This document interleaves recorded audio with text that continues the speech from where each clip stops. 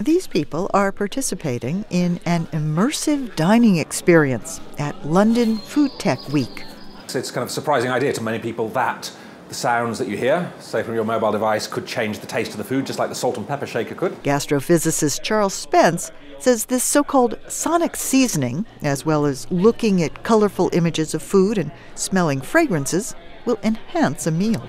But in fact, we have a growing amount of evidence now from the psychology lab, from chefs, artists, composers, uh, to demonstrate that we can create music or pick music off the shelf that uh, will bring out sweetness, that will bring out saltiness, sourness, bitterness, creaminess, spiciness. In an Oxford study a few years ago, researchers found that seafood really tasted better when eaters listened to sounds of the ocean.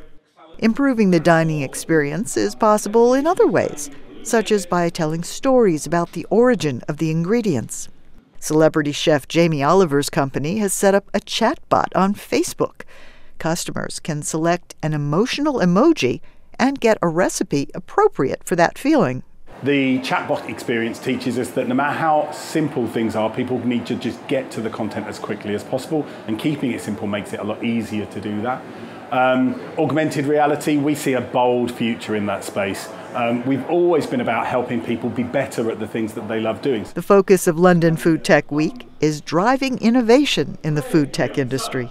Food is one of the least disruptive markets in terms of new business models, in terms of technologies and innovations out there, yet it's got serious global challenges within it that actually, once we start to apply technology to it, we can start to change some of these for positive um, in a commercial uh, and scalable and repeatable way. this is the third year Why Food organized the event. The exhibitors and investors hope the technologies featured here will help transform and define the future of the food industry. For writer Faiza Elmasry, I'm Faith Lapidus, VOA News.